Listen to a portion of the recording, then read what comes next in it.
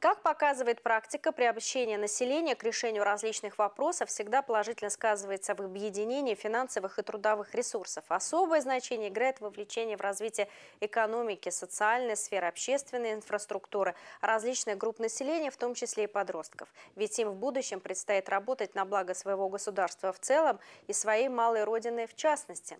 Этим летом 12 777 подростков нашего региона получили свой первый трудовой опыт. В их трудоустройстве задействовали 1010 предприятий организаций региона и 44% из них во внебюджетной сфере.